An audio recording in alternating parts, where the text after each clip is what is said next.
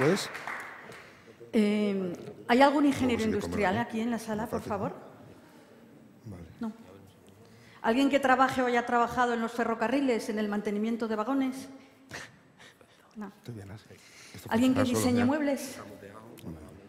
Bueno, es que esto sería fantástico para el proyecto que les voy a enseñar. Por favor, me esperas después. Eh, eh, todos conocen el barrio de Lavapiés, todos conocen este mismo barrio, el barrio de las Letras, el barrio de Huertas, eh, muchas zonas de Tetuán, el distrito de Tetuán. ¿Qué tienen en común?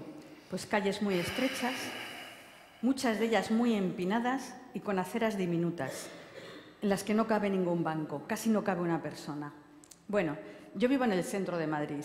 Eh, en el centro de Madrid veo personas mayores, muchas personas mayores. Esas personas mayores tienen que moverse, tienen que ir a- al centro de salud, tienen que ir a la compra, tienen que ir en autobús, tienen que ir a buscar a sus nietos, a, a los colegios, a, a acompañarlos, tienen que pasear.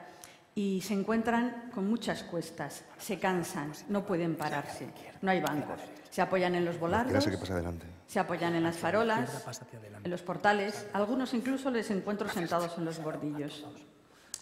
Esto es tremendo. Y no solo afecta a las personas mayores. También hay mujeres embarazadas, personas que vamos cargadas con la compra de un lado a otro, personas que vamos con bebés, con niños pequeños. Nadie se puede sentar. ¿Qué hacemos?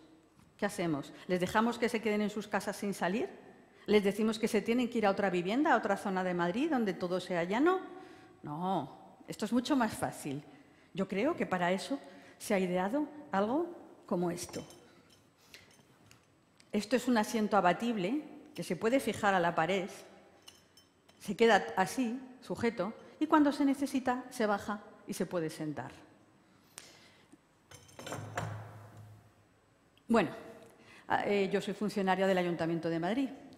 Hace unos meses vinieron unas personas de aquí, de Medialab Prado, a vernos, a Cibeles, y a decir que tenían en marcha un proyecto, Madrid Escucha, en el que se pretendía crear un lugar de encuentro, como acaba de decir Antonella, entre ciudadanos y funcionarios para llevar a cabo proyectos, iniciativas que condujeran a una mejor calidad de vida de todos los ciudadanos. Bien, a mí esto me pareció muy interesante, aunque no lo entendía. Pregunté, pero eh, ¿podéis explicar algo más? Y me dijeron, sí, sí, un proyecto que, conoz- que conozcáis todos, que se haya visto en otras ciudades, eh, una iniciativa que no podáis desarrollar porque no tenéis medios suficientes, o incluso la detección de un problema que no sepáis cómo solucionar.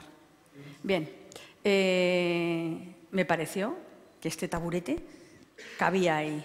Bueno, me convencieron que, viniera a participar, que presentara esta idea y luego un jurado formado por personas de Media Lab, por personas eh, funcionarios del ayuntamiento, pues decidirían cuáles de estas ideas podían llevarse a cabo. Ellos facilitarían después aquí unos talleres, eh, lo publicitarían para que se unieran gentes formando equipo, incluso ayudarían en materiales y promocionarían en una página web.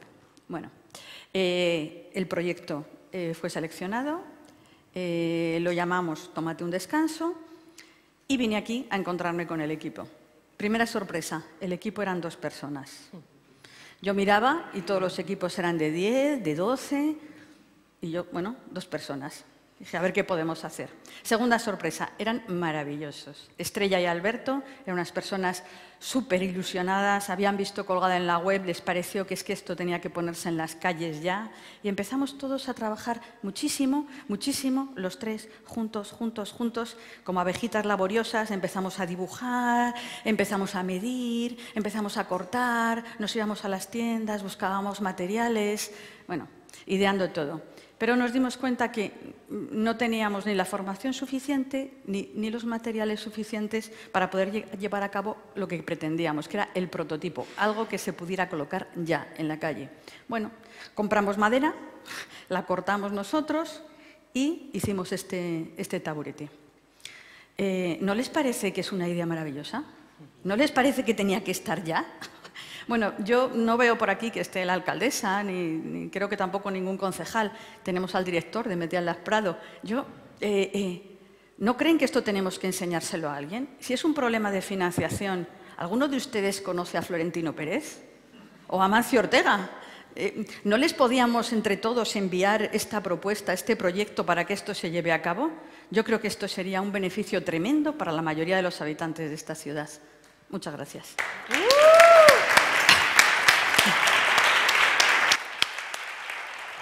Fantástico.